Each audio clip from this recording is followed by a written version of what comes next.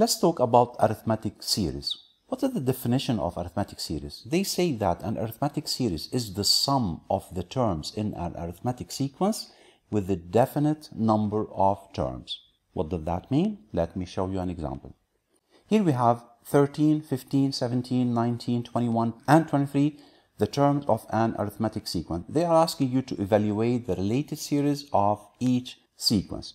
To evaluate that, we can add all of the terms together, like 13 plus 15 plus 17 plus 19 plus 21 plus 23, and we get 108. It's easy. But the problem is if we have a lot of terms, if we have a lot of terms, it would be little complicated to do it fast. So what do we do? We find the first term, the last term, and the common difference. And we replace it in this formula. Which formula? The formula that says Sn, which is the summation formula, it's equal n over 2 into a1 plus an. What does that mean? It means n is the number of terms, a1 is the first, and an is the last one. So in this given sequence, we have six terms. So what do we say? We say it's equal 6 over 2 into a1 is 13, an is 23, so we say plus 23, and we simplify, we get 6 over 2, which is 3, into 13 plus 23, which is 36. And we multiply 3 by 36, we get 108. And here we write S6, just to mention that we have 6 terms. So S6 is equal to 108. Another example, let's look at that. Here the terms are 22, 28, 34, 40, and 46. So the number of terms is 1, 2, 3, 4, 5. So what do we write? We say it's equal to 5 over 2 we open bracket. A1 is 22 and AN, which is the last term, is 46. We say plus 46. And don't forget to write S5. Why? Because we have five terms in this series. And we simplify. We write 5 over 2 into 22 plus 46 is 68. And we can multiply 5 times 68 and then divide by 2. Or you can divide 68 by 2 first and then multiply the answer by 5 you get 5 times 68 divided by 2, which is 34. And 5 times 34 is 170. Let's look at this type which is given in sigma form. They said evaluate the arithmetic series described. And here it is written in the form sigma from m equal to 1 till 10 for 7m minus 2. What does this mean? It means that when we have sigma from m equal 1 till 10 for 7m minus 2, it could be written in the form of 7 into 1 minus 2. This is the first term plus and keep going. 7 into 2 minus 2 plus until the last term which is 7 into 10 minus 2 and that would be the last term. And then you add them all together you get the final sum. But to do that we can do it faster. How do we do it? Since this is an arithmetic series so we can find the first term the last term and the number of terms and we can apply the formula. You can get the first term by replacing m by 1. So we can say a1 is equal to 7 into 1 minus 2 which is equal 7 times 1 7 minus 2 which is 5 and the last term which is an is equal 7 into and we replace 10 in this case so it's going to be 10 minus 2 which is equal 7 times 10 70 70 minus 2 is 68 and the number of terms which is n we can write it 10 minus 1 plus 1. Remember this. This is written in this form because sometimes they don't write it from m equal to 1 till 10 and you could have a mistake. Let me show you this. If you have it written in the form m equals to 4 till 7, let's say, from 4 to 7, how many terms we have? Maybe you guess it's 3, but it's not 3, it is 4. Why? Because count the number of terms. Let's say m equal to 4, so this is 4, this is 5, this is 6, and this is 7. So how many terms we have? 1, 2, 3, 4. That's why we say the last minus this plus 1. 7 minus 4, which is 3, plus 1 equal to 4. Always subtract the upper bound minus the lower bound and add 1. So the number of terms here is 10 minus 1, which is 9, plus 1, which is 10. So that's 10. So now we have all what we need. So we replace in the formula What's the formula? The summation. Since we have 10 terms, we write S10 is equal n over 2, which is 10 over 2, open bracket, the first term, which is A1, which is 5, plus the last term, which is 68. And we do that by calculator, we can get 365. Let's have another example. Here we have sigma from i equal 1 till 6 for 3i.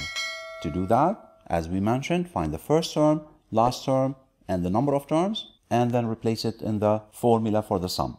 So the first term, a1, is going to be equal to 3, replace i by 1. So 3 times 1, which is equal to 3. And the last term, which is a6, which is equal to 3 times 6, which is 18. And the number of terms is equal to 6 minus 1 plus 1, which is equal to 6. And then replace in the formula. S6 is equal 6 over 2 into the first term, which is a1.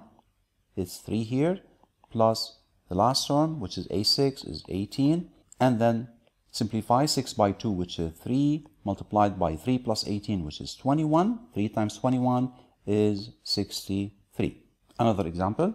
What about if it's given straightforward? A1 equals to 4 an equals to 22 and n equals to 10 what do you do? Just replace it in the formula. Sn is equal n over 2 into a1 plus an how much is n? n is given 10 so we'll put 10 over 2 into a1 which is 4 plus an which is 22 and then we can say it's equal 10 over 2 which is 5 4 plus 22 is 26 here s10 s10 so s10 is equal 5 times 26 is 130 what about if it's written in another form like that 20 plus 27 plus 34 plus 41 and n is equal to 16 so what we can do here as we see in the formula, the formula says that Sn is equal n over 2 into a1 plus an. So in this case, we have a1 which is 20 and we have the number of terms 16. But what about an which is the last term? In this case, either we have to find the last term which is a16 and then replace it here or we can use another formula that involves the common difference. Let's do both ways. So first, we need to find an. How to find an, which is a16, as n is equal to 16. So we say a16 is equal a1 plus 16 minus 1 times the common difference. What is the common difference in this series? The second term is 27 and the first term is 20. So we subtract them. 27 minus 20 is going to be equal to 7. So we say the common difference is equal to 27 minus 20, which is equal to 7 and then we replace the terms. We say A16 is equal A1, which is 20, plus 16 minus 1, which is 15, times the common difference is 7, is going to be equal to 20 plus 7 times 15 is 105. That's 105. We add them together. You get 20 plus 105 is 125. So now we have the first term, the number of terms, the last term. We can replace them. So we say S16 is going to be equal to 16 over 2 into the first term, which is 20, plus the last term, which is 125, and we do it by calculator, we get 1160. Let me show you how do we do that if we use the other formula. We have another formula for the sum using the first term, the common difference, and the number of terms. What do I mean? Let me show you how do you get the other formula. If we replace an by a1 plus n minus 1 times d, what do you get? You get n over 2 into a1 plus an, which is a1 plus n minus 1 times d. What do you get? You get n over 2 into a1 plus a1 it's 2a1 plus n minus 1 times d and this is another formula to be used for the sum. We can memorize both formulas. We look at the question. If a1 is given, an is given, so we use n over 2 into a1 plus an. If an is not given, and the common difference is given, so we use the second one. So now, in this question, a1 is given 20, a1 is equal to 20, and the number of terms is equal to 16, and the common difference is equal to 27 minus 20, which is 7. So we can say as 16 is equal to 16 over 2 into 2 times a1 plus 16 minus 1 times the common difference. and we replace all values. What do we say? We say 16 divided by 2 is 8, open bracket, 2 multiplied by a1 which is 20 plus 16 minus 1 is 15. The common difference is 7, so we replace 7. And we simplify, you get 8 into 2 times 20 is 40, plus 7 times 15 is 105. And we can do that by calculator from the beginning. You get the final answer as 1160. One more question. They say here, determine the number of terms n in each arithmetic series. Given a1 equals to 15, an equals to 79, and the sum is equal to 423. Since a1 and an are given, so what do we use? We use the formula n is equal to n over 2 into a1 plus an. And now we replace the values. Sn is 423 equals to n over 2 into a1 is 15 plus an is 79 and we solve for n. How to do that? We say 423 is equal to n over 2. Now what's the sum of 15 and 79? It's 94. We say 423 equals, divide 94 by 2. What do you get? You get 47. So we get 47n and divide each side by 47. You get 9. So this is 9 and here, 47, 47 cancel, you get n equals to 9. So we got the number of terms. Let's have a similar question. Look at that question. A1 is given, the common difference is given, and the sum is given. How can we find the number of terms? We want to find n. So what do we use? We use the formula that involves the common difference, not a1 and an. So we write s n is equal to n over 2 into 2a1 plus n minus 1 times d. And we replace Sn is 21, we write 21 is equal n over 2 into 2a1. a1 is minus 3, multiply 2 times minus 3, which is minus 6, plus n minus 1 times the common difference, which is 2.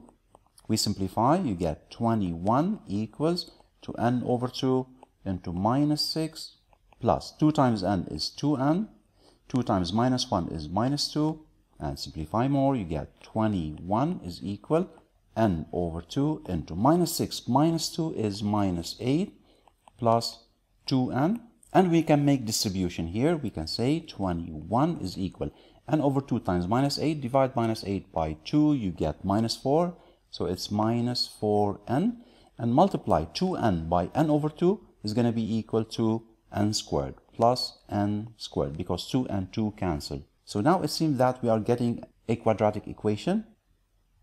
So we move 21 to the other side, it becomes 0 equals, let's order them. Let's write n squared at the beginning, so n squared minus 4n, and 21, it becomes on the other side, it's minus 21. You know that we can add minus 21, minus 21 on each side, so it becomes minus 21 on there. We can also switch the two sides, we can write n squared minus 4n minus 21 is equal to 0. Now to get n we need to factorize n squared minus 4n minus 21. So we open brackets, we say equal to 0. Now what are the two numbers? Their product is minus 21 and their sum is minus 4. How do we get it? We look for the numbers with product minus 21. We have 3 times 7 and we have 21 by 1. And since we have minus sign, so one of them is negative and the other one is positive. So it's either minus 21 and plus 1 or plus 21 minus 1. Also minus 3 plus 7 or plus 3 minus 7. Now which couple of those gives a sum of minus 4? It is plus 3 and minus 7. So 3 and minus 7 are the numbers we are looking for. So we say n plus 3 and minus 7 here and we solve it as an equation. We say n plus 3 is equal to 0 or n minus 7 is equal to 0.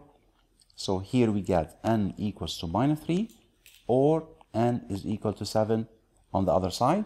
But you know that the number of terms should be positive. We cannot accept a negative number of terms, which means that n equal to negative 3 is rejected and we accept n equal to 7 and the number of terms is equal to 7. Let's look at this type. Here we have it minus 2 plus minus 12 plus minus 22 plus minus 32 and Sn given equals to minus 224. We know that the first term is equal to minus 2 so we write a1 is equal to minus 2 and the common difference between them we can write it the common difference is equal the second term minus the first term which is minus 12 minus minus 2 which is equal to minus 12 plus 2 which is minus 10. We got the common difference and we have the sum so we say Sn is equal n over 2 but which formula we use? We use 2a1 plus n minus 1 times the common difference because we don't have an, we don't have the last term. And we replace the values. Sn is minus 2 to 4 is equal to n over 2 into 2a1. a1 is minus 2, so we get minus 4. 2 times minus 2 is minus 4 plus n minus 1 times the common difference is minus 10. And then we simplify more. You get minus 2, 2, 4 is equal n over 2 into minus 4 minus 10 times n which is minus 10n minus 10 times minus 1 is plus 10 simplify more you get minus 2 2 4 is equal n over 2 into minus 4 plus 10 is 6 minus 10n and we distribute here. You get minus 2 2 4 is equal. N over 2 times 6 it is 3n n. Over 2 times minus 10n we divide 10 by 2 you get 5 and we have n times n n squared you get minus 5n squared. Since we have minus 5n squared here so we take it to the other side it becomes 5n squared. Take 3n to the other side you get minus 3n and keep minus 2 2 4 on the same side is equal to 0 and this is a quadratic equation. We need to factorize to get the value of n or we can solve it by using the quadratic formula. A is equal to 5, b is equal to minus 3, and c is equal to minus 2, 2, 4. We say n is equal minus b plus or minus radical b squared minus 4ac if you remember it over 2a. We replace the values is equal to minus b which is minus of minus 3 which is plus 3 plus or minus radical b squared which is minus 3 squared which is 9 minus 4 times a which is 5 times c which is minus 2 2 4 over 2 times a which is 10 2 times 5 10 we simplify it we get 3 plus or minus radical we do that by calculator you get 4489 4,489 over 10 which is going to be equal to 3 plus or minus. Radical 4, 4, 89 by calculator, you get 67 over 10. And we do that separately. First one, n is equal 3 plus 67, which is 70 over 10, which is 7. And the second one, 3 minus 67 over 10, you get, let's say this is n2 equal 3 minus 67, which is minus 64 over 10, which is not accepted for two reasons. First, we have negative sign here number of terms should be positive and also we have fraction and it is not natural number. So the one which is accepted is n equal to 7 and that would be the number of terms. And here I can say that we reached the end of the video and if you like the video don't forget to like and share and welcome to Math 4 Fun and bye for now.